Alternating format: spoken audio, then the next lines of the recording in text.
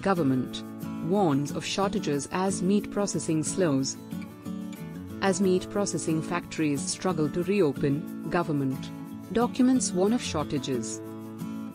As COVID-19 ravages meat packing plants throughout the country, beef and pork options are dwindling in grocery stores.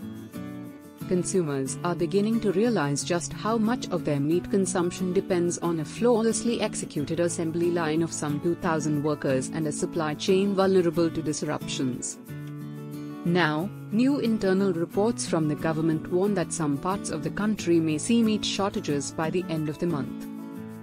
Analysts suggest that meat supply chain disruptions could see 20% higher prices than last year and potential spot shortages of meat in certain markets by the end of May, says an internal government senior leadership briefing slide dated May 12 and reviewed by Yahoo News.